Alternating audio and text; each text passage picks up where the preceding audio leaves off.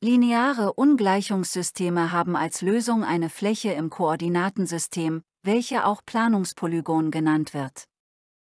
In diesem Video schauen wir uns an einem Beispiel an, wie man so ein Planungspolygon zeichnet und wie man die Eckpunkte davon bestimmt. Wir haben hier ein Ungleichungssystem, bei dem wir die Lösungsmenge und die Eckpunkte davon bestimmen sollen. Beginnen wir mit dem Planungspolygon. Die erste Ungleichung sagt, dass x größer oder gleich 0 sein soll, also ist die y-Achse die erste Randgerade.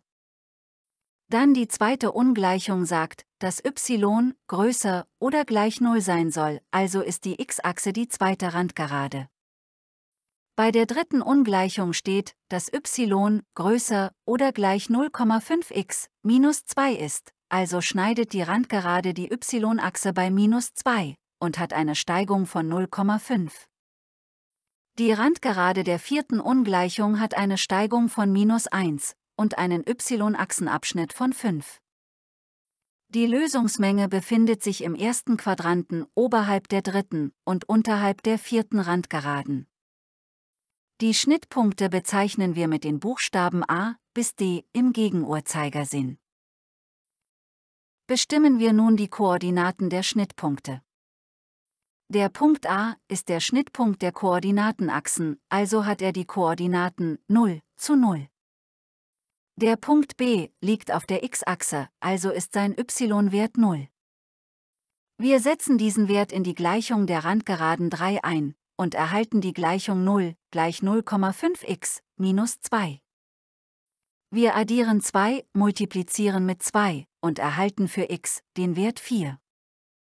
Also hat der Punkt B die Koordinaten 4 zu 0. Der Punkt C liegt auf der dritten und vierten Randgeraden, also setzen wir diese beiden Gleichungen gleich.